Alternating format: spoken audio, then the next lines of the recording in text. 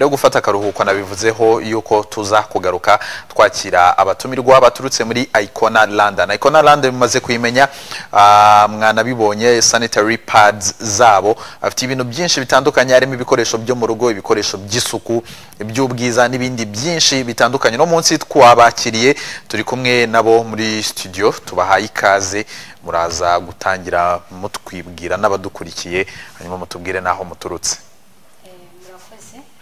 Nitwa fani Ah, nkaba nturuka muri icona london. Ah, icona london ah, akaba ari blande nyaburayi ikora ibintu bitandukanye.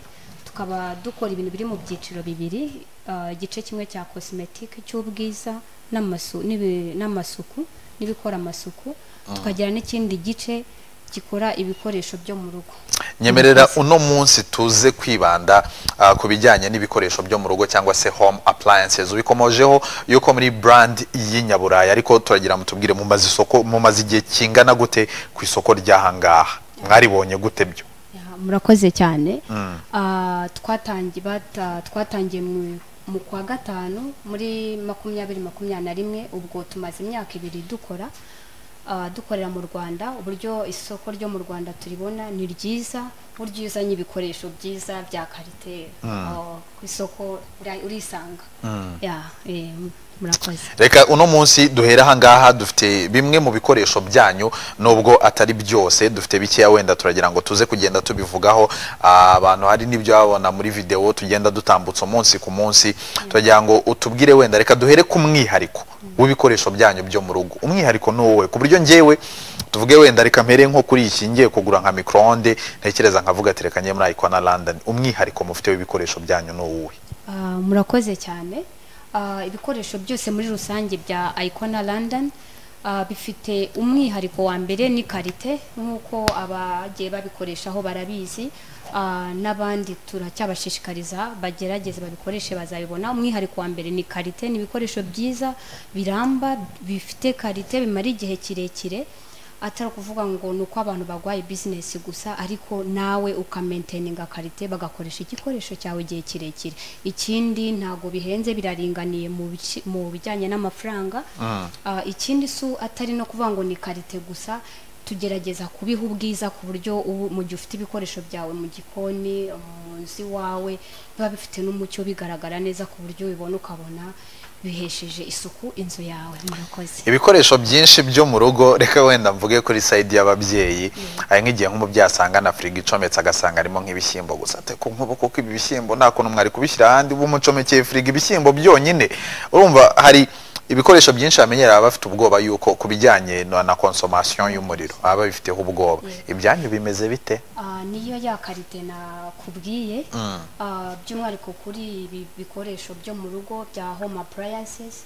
Umwihariko ni- iyi- muri iyo karite tumaintaininga uburyo energy consumption ba- bikoresha umuriro uringaniye uri hasi ukurikije ibya kera kuko ibi ngibi ni ibintu byo muri modern ku buryo rero ikintu bamaintaininga ni umuriro for example hari abantu bari basanzwe bafite nk'amafirigo bafite ama ama washing machine bafite ibikoresho bigiye bitandukanye ba- bari basanzwe bakoresha cyane turabakira cyane ku mafirigo ugasanga yemeye guhagarika firigo yakoreshaga iwe akemera akaza akagura iwacu amafirigo mashyashya bitewe n'uko ah, umuriro zikoresha ni muke uraringaniye n'ibijyanye nyine ni modern. Ariko ngo hari n'ibyo mugira bikora bikoresha eh, amashanyarazi y'imirasire. Yego ah, turabigira nk'urugero ni kwa kugenda tugendana n'igihe cy'ubu ngubu.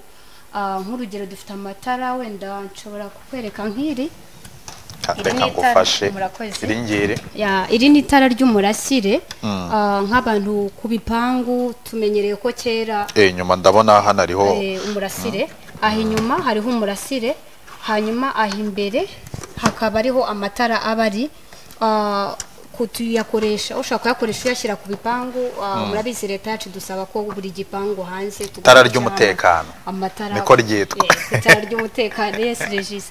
So aya ngaya rero aradufasha urumva urarigura already iba ifite umurasire waryo ubiguranye wamara no kubigurana ukaba ufite itara rifite n'umurasire cyarimwe so ushobora kurikoresha ku bipangu dushobora kubikoresha mu majardin ah, ah, rwose abantu cyangwa cyangwa umuntu akarishyira no mu cyumba cye. Ya, mostly akoreshwa ku ntuze ku bipangu mu majardin rwose n'amatara meza. Nta kuvuga nta electricité ntaki ari umurasire ubwawo urararyifitiye ubundi rigahita ryaka. Kandi rikaba rira na sensa iyo aho aba yensitaye iyo darkness ije ah, umwijima nimugoroba kumwe nimugoroba hagera amatara ahita yaka. ariyatsa Ya. uvuze sensa ngira ngo iyo haje umujura rihita rivuga. Iya ni sensa ukuntu uze ko umurimo ushinzwe Eh. umwijima utangira nimugoroba rihita ryiyatsa. Rwose ukabona ahantu harasa neza mu majaride hanze ku bipangu ku mihanda. Wow. Mufite ibintu byinshi bitandukanye. Reka duhere ahangaha iki ngiki ni igiki? Ah, twababwira muri rusange. Ah, hari ibyo twazanye ari byo by'ibi n'ibindi twasize byose wenda twabivugamo muri rusange. Ah, iyi ni microwave oven cyangwa micro onde iri manuel. Iyi ni litiro makumyabiri. Litiro makumyabiri ubwo ni ukuvuga? Ah, ni ukuvuga ngo ni volume. Ni volume yawo ingano yahangaha mo hagati. So ah, harya litiro ingana n'ikiro ubwo ni ukuvuga ngo ushobora gushyiramo gushyushya nk'ibiro makumyabiri by'inyama. Ubwo ni ukuvuga ngo eh, aba ari iyo kantite Eh. y'ibintu uri bushyiremo ubundi ukabishyiramo ah, ukagira ukaregla. Mm, ukoresheje runaka eh, n'amaboko kano ku ntuze yazo ugashyiraho iminota runaka noneho ah, iyo irangije irihagarika. So kuri micro onde ntabwo tugira manuwere gusa tugira manuwere ubwoko bubiri izi zifungurwa gutya. Tukagira n'izindi ziba zifiteho akaboko hano ufata. Tukagira n'izindi ziri digital ah, na zo ari zo ziri imbere oya Eh, ntabwo- n'iri iri hariya. n'iri iri hariya ntabwo bari buyibona.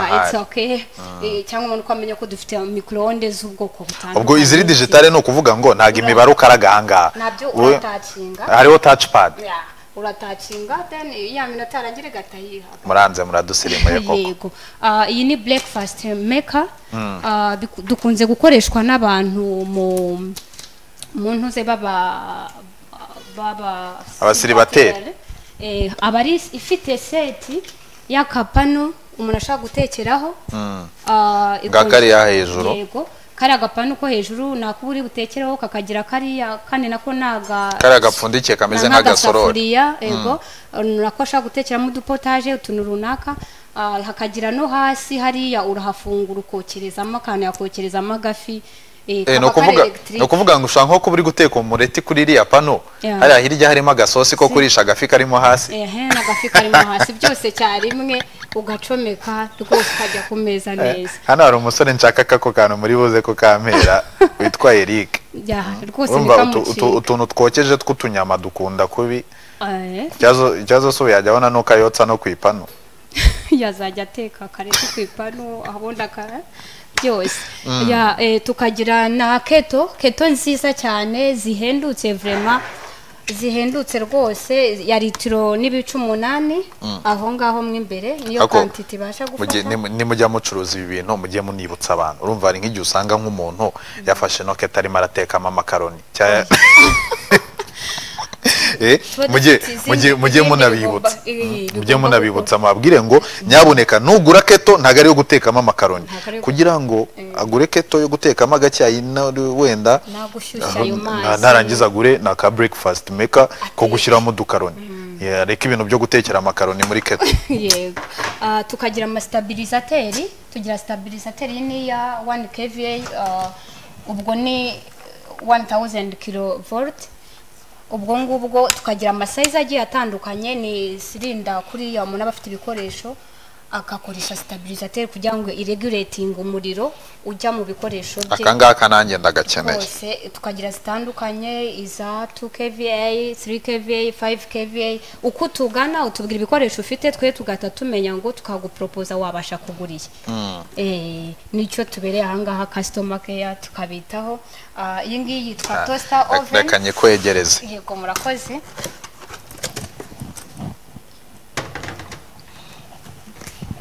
Dushyireho hano. Yego iyi ni toaster oven. Barabibona neza? Yego. Iyi ni toaster oven ni akagira akotsa ni agashinzwe kotsa se? wakotsa cyose wakotsa ifi wakotsa iyo nkoko yawe. Mbese icyo ushaka kotsa cyose ikaba ari litiro icumi noneho kuko ah, sayizi ziba zitandukanye bitewe n'uko umubare w'abantu baba batandukanye. Tugira n'izindi nini za litiro mirongo itatu gutyo ni ukuvuga ngo ushobora no, kuyikoresha nko muri resitora? Eh, turazigira amaresitora aratugana cyane kandi ni karibu turacyabaha karibu tugira n'inini zanyu. Mbese tugira amasayizi agiye atandukanye kandi nkomeza kubibutsa ko ni brand yacu ni ibikoresho byacu so turaranguza tugaha n'abashaka kurangura kuri n'abashaka kuza kwigurira kuri detail. Ni ukuvuga ngo ufite business ushaka gucuruza produit zanyu nshobora kuza mukankubita umuzigo uhagije nkajya gucuruza. Nanaba nishakira agatosta kamwe nkaza nkavuga ati ngewe mfungira agatosta kamwe. Mm, Yego. abakiriya muranabatwaza cyane tuba customer care icyo dushinzwe turabatwaza kugira ngo tuborohereze tukagira n'amateleviziyo. Tugira amateleviziyo y'amasayizi atandukanye inshi zitandukanye tukagira amateleviziyo y'amadigitale henshi muhera kuri zingahe mukageza kuri zingahe? kuri inshi makumyabiri na kane. Makumyabiri na kane iba ari digitale gusa. Tugakurikizaho mirongo itatu na kabiri tuba dufite iri digitale ah, n'iri smart tugakurikizaho mirongo ine na gatatu mirongo itanu mirongo itanu na gatanu mirongo itandatu n'eshanu z'ama smart. Tv kandi ikindi nibutsa abanyarwanda bamenyere ko amateleviziyo eh, aba ahenze cyangwa yaba televiziyo abantu babitwara binini ni abakire bya myumvire ya kera mutugane mutugane televiziyo zirahendutse ziri ku biciro byiza ibikoresho byose birahendutse. Ntimugatinye mujye muza mutugane tuganire. Rwose nta muntu. Ni nko ku kiranguzo neza neza. Rwose nta muntu uhagera ngo iyi iyi- iyi ngiyi ingana gute? Ni ince Iyi zingahe? ni two eh, mirongo itatu n'ebyiri kandi smart hari tv hari ukuntu abantu bataba bari kubyumva urumva? Nk'iyi ngiyi turi kwerekana ni mirongo itatu na kabiri. Ubwo nka mirongo itandatu na gatanu ikibye iyi ngiyi kabiri. Hari abantu bavuga abantu barebera ku duteleviziyo dutoya ukagira ngo ni ibintu abakurambere babo babatumye. Kandi umuntu ashobora gutunga televiziyo imeze ufite nka screen ingana nk'iyi ngiyi mu rugo iwawe. Kandi na- na zo murazigira. Turazigira rwose amateleviziyo manini y'amasayiza uko umuntu yifuza niko abajene cyane. Nda- ndatekereza mufite n'ibindi mutazanye wenda ntago hano byari Yego. kuhakwirwa hose. Ah. hari hari hari n'ibindi byinshi mufite. Reka duhere nko ku mafirigo Eh, dufite amafirigo y'amasayizi atandukanye udufirigo dutoya amafirigo aringaniye amafirigo yo gukoresha amabizinesi amafirigo yo mu rugo ah, tukagira amafuriza furiza ah, amakonjerateri ayo hasi yo mu mabusheri. Bya bindi binini. Ah, manini rwose amabushe amabusheri akenera. Ah, tukagira n'izizamuye amarimantasiyo akenera. Ah, tukagira ama washing machine amamashini afura imyenda na yo arahari amasayizi agiye atandukanye zifungurirwa hejuru zifungurirwa imbere. Byiza rwose tukagira ariko se biretse gatoya nkubaze wenda ku bi- ku bi- ku bijyanye n'amamashini ameze. Ubundi ariya mamashini akora gute? Ngeze amahirwe ndakubonye nanjye simbizi. Urafata ugashyiramo ugashyiramo na kagifuru ukajugunyanamo ah, ni ukuvuga ngo wenda sitwayizanye ariko nakubwira teoretically Mm. Ah, wenda amasayizi yaratandukanye duhera ku biro birindwi kuzifungurirwa hejuru ibiro birindwi ah, tukagira ibiro cumi na bibiri tukagira ibiro cumi na bitanu. Ubwo iyo ni imyenda iba ishobora kwakira icyarimwe. ni ya volume tuba dushaka gushyiramo Yego. ibintu. Hanyuma tukagira n'izifungurirwa imbere ibiro bitandatu ibiro umunani ibiro icumi. Gutyo kuko abantu bakunda bitandukanye abakunda iz'imbere abakunda izo hejuru ariko muri rusange ukuntu zikora urabona wenda dufate nk'imashini runaka y'ibiro birindwi cya cumi na bibiri ushyiramo ntuze iba ari otomatike hareba ifite payipo umugozi winjizamo amazi nuza kuyasohora. Eh, ubwo ni amazi imigozi ibiri U- usakinga amazi yinjiramo aza gukora akazi ugashyiramo imyenda yawe n'iki hakaba n'undi usohora noneho kuko aba ari otomatike Eh, ukarisitaringa no- no- ndumva noneho harimo n'ibintu by'amazi. Ubwo ni ukuvuga ngo ibigomba kuba iri na installa ahantu hari amazi. Uwo ni ukuvuga ngo umuntu ayiguze na installation murayimukorera se cyangwa ni ukuvuga ngo umuntu ayiguze tuba dufite umutekinisiye. Ah, wowe ushaka ko ujyana ubaye ufite umutekinisiye wawe it's fine. Ya turaguherekeza tukagupakingira ubundi ukayitwara imashini yawe. Waba nta mutekinisiye ufite tuka tukamuguha n'umutekinisiye akagenda akakwesitarira byose. Free of charges cyangwa hari everything udufaranga? is included. Ah. Eh, ni ukuvuga ngo ubwo ngubwo urumva rero umuntu ushobora kwanga gutwara umutekinisiye wanyu aba arimo arihendesha nabo mujye mubatwara nabo mubakonsome ni abanyu E, yego. Ubundi byose akahava ushobora no kumuhereza imyenda kugira ngo uve aho ngaho hari abikwigishije byose. Eh, ni ukuvuga ngo umuntu agura ibintu ku buryo mushobora no kumwigisha kubikoresha. Hose tukava twamweretse byose kuko hari umuntu Ari- uza kugura nk'amashine atazi ibyo ari byo. Noneho hari ukuntu hari ukuntu nk'abajene urumva. Uriya mujene uri hariya akareba icyanwa ahagaze akavuga ati shange reka nkubwire aho kugira ngo uyu mukobwa aze kunshishamo ijisho ngo sinzi gukoresha imashini ifura cyangwa nka kariya ka breakfast maker akavuga ati reka nkajyana ugasanga nk'hariya hari ipana arimo aratekeraho ibirayi hariya hari oven arimo arabikamo amasahani erega abantu ba- abantu mujye musirimuka ibintu mutazi mubibaza. Wabona hari umuntu uri kunseka ngo nabajuke imashini imesa ikora. Kandi ikintu burya ah, kubaza bitera kumenya ni cyo kintu cya mbere. Ah, kandi ikindi icyiza cyo muri ayikona london turagukurikirana. Turagukurikirana tukakubaza ese tugira igihe cya follow up cyo kugenda duhamagara aba- abakiriya bacu tuhaza mubona bikoze gute bigenda neza? Kandi niyo agize ikibazo mwo hagati ibikoresho byacu bigiye bifite ama warranty card aradukontakta kuho agizeho ikibazo umutekinisiye akagerayo igihe akabikurikirana. Kandi natwe tugira igihe cyo kubakurikirana ntabwo ari ugutegereza ngo yagize ikibazo. Ukabaza abakiriya se murabona bimeze neza rwose. Ayikona london customer care Tu- turayizi tutarakomeza wenda ku bindi mufite. Hari umuntu witwa mutesa ah, arambwiye ngo nkubaze ngo kwishyura mu byiciro bijya bikunda. Ku buryo umuntu ashobora kuza mukamuha ibintu wenda akagenda yi- yishyura mu byiciro. Ubwo ni ukuvuga ngo icya mbere biterwa na product kuko hari uduproduct ntabwo uzambwira ko tugura ibihumbi bingahe. birasaba mu byiciro ariko urumva hari nk'ibikoresho biba bihenze wenda nk'amafirigo manini cyane wenda bitewe n'ubushobozi bw'umuntu. Ariko ko- twaje korohereza abanyarwanda vrema dushaka gukorana gufata isoko ryose tukaryagura tugakorana n'abanyarwanda neza.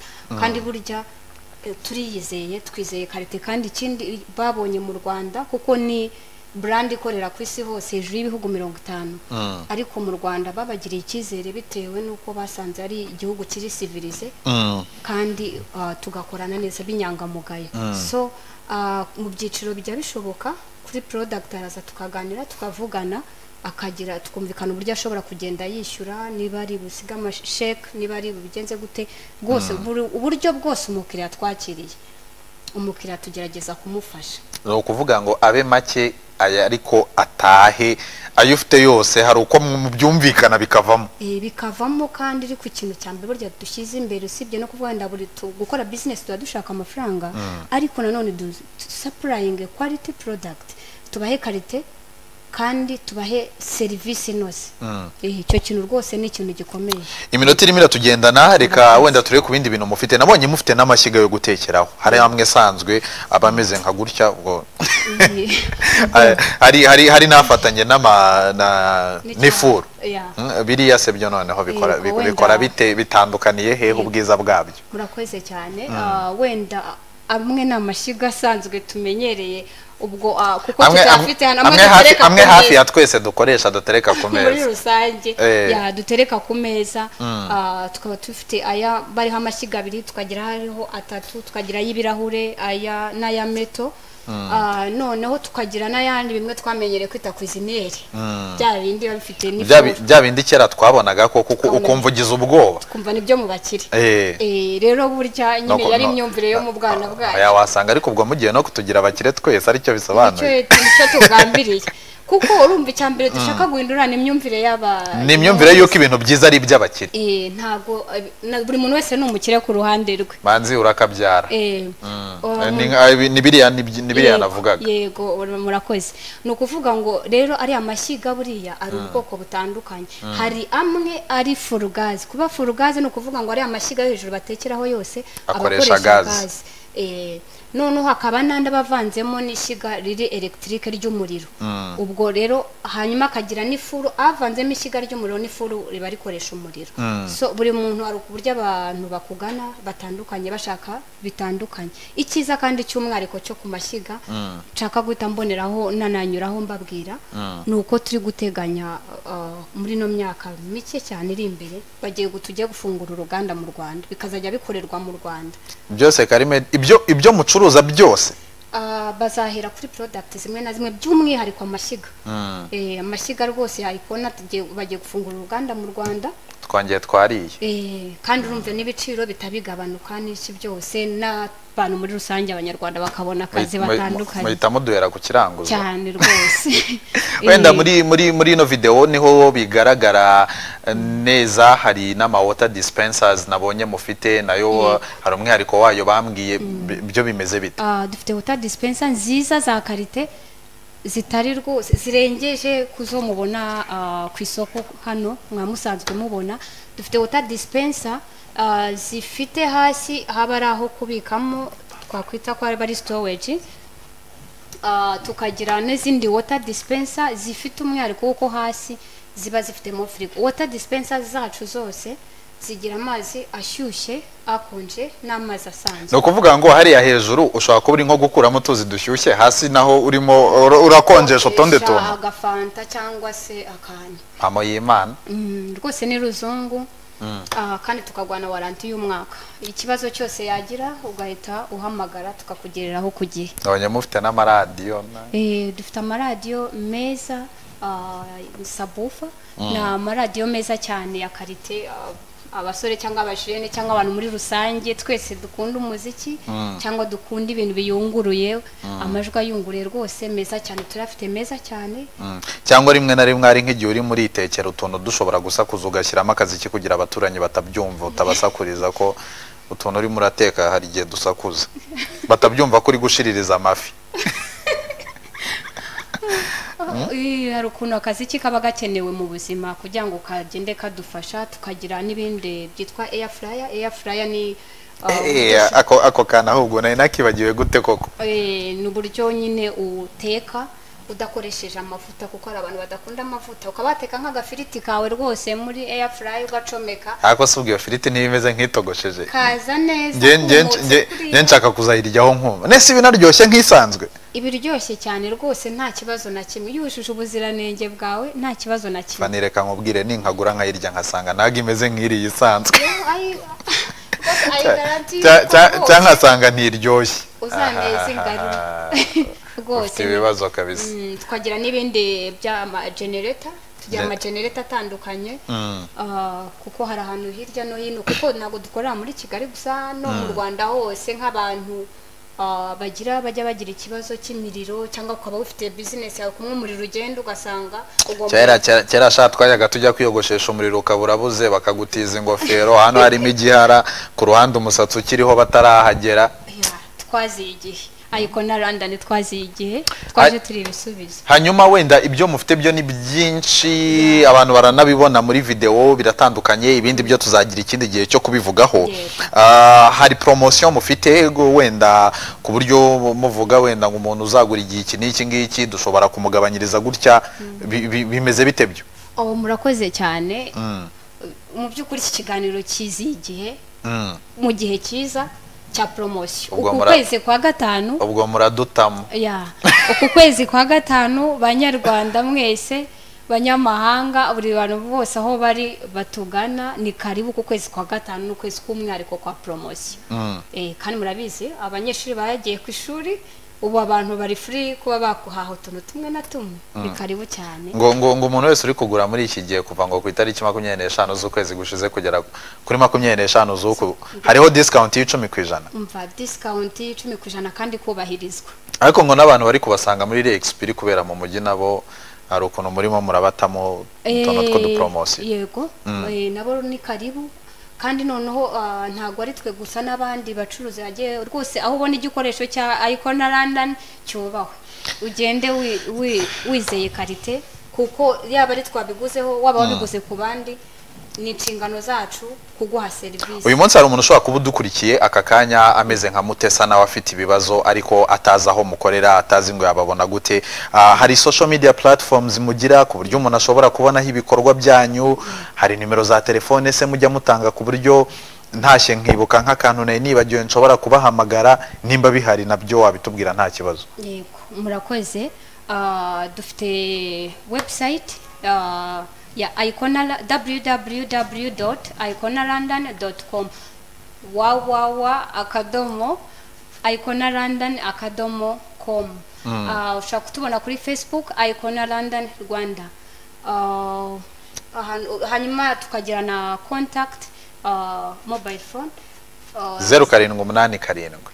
Zeru karindwi umunani karindwi zeru gatanu karindwi kane kane. Eh, yego hanyuma ah, ushobora no kutubona no ku yindi zeru karindwi umunani zeru karindwi icyenda cumi na gatanu cumi na gatandatu gatatu umunani umunani. Hanyuma aho dukorera ah, ni opposite ya city plaza aharebana na city plaza mu nyubako yanditseho florida house y'umweru muri flo ya mbere mukatugana karibu cyane. Ngira ngo mwabyumvise rero babafitiye ibyiza byinshi cyane bitandukanye bitwa icona london barayoboye. Ninkubwira ngo barayoboye kandi ko kubyumve ngira ngo mwabyiboneye. Bimwe mu bikoresho bikeya bazanye aha ngaha ba bantu baba bafite ibibazo byo kubyibuha ukuntu biba byaranze utuntu tw'utu air fryer n'iki mwese mugende mubagane aho bakorera mwahumvise. Ni mu mujyi muri florida house muri floor ya mbere. Bitwa icona london. Fani reka ngushimire cyane. Mwakoze kwitabira ubutumire bwacu ubwo twizere yuko wenda n'izindi produit nyinshi mufite mutabashije kutubwira uno munsi n'abanyarwanda na zo muzaza mukazidusobanurira. Ah, yego murakoze cyane. Twishimiye kubana namwe. Murakoze cyane.